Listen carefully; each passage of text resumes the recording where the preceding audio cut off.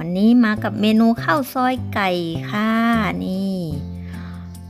ก็มีน้ำข้าวซอยมีชุดผักมีเส้น นี่ค่ะเอาเส้นใส่ชามเอาไก่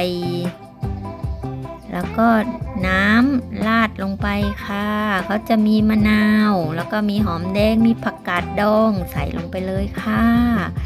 มีพริกมาให้ด้วยนี่ค่ะ เพื่อความแซ่บ แล้วก็บีบมะนาวลงไปค่ะ ตามด้วยเส้นกรอบๆของข้าวซอย เรียบร้อยมากินด้วยกันค่ะ สวัสดีค่ะ พบกับ SP Family พรพรนะคะ คลิปนี้พามากิน ข้าวซอยค่ะ ข้าวซอยมาจากร้านอาหารเหนือคุณนงนะคะชนบุรีค่ะ ใครสนใจก็ เข้าไปที่เพจได้นะคะนี่เดี๋ยวขึ้นเพจไว้ให้เลยนี่ค่ะแรกแล้วก็คลุกเคล้าก่อนนะคะ ใส่ทุกอย่างที่เขาให้มาลงไปในชามแล้วก็คลุกผสมกันเอาให้ไก่สองชิ้นสองน่องนะคะอันนี้ก็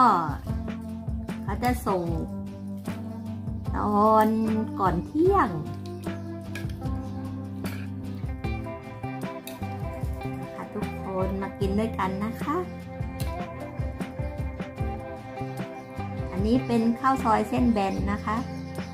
อย่างตอนที่ไปอยู่ที่เชียงรายก็ถึงได้รู้ว่าข้าวซอยก็จะมีเส้นสองแบบคือเส้นแบนแบบนี้แล้วก็จะมีเส้นกลมด้วยอะคะกินด้วยกันนะคะ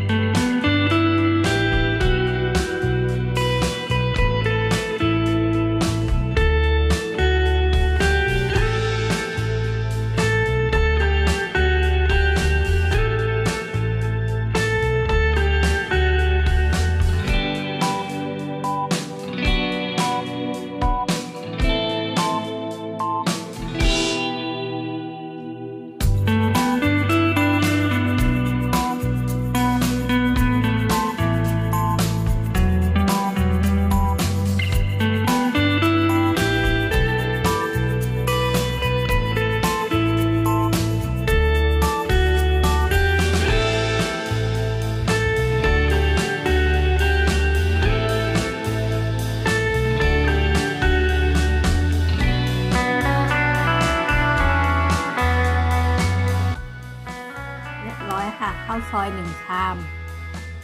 อยู่ชนบุรีก็ไปสั่งได้นะคะ อาหารเหนือคุณนง ก็เข้าไปที่หน้าเพจแล้วก็เข้าไปดูว่าวันนี้มีอาหารเหนืออะไรลงขายบ้าง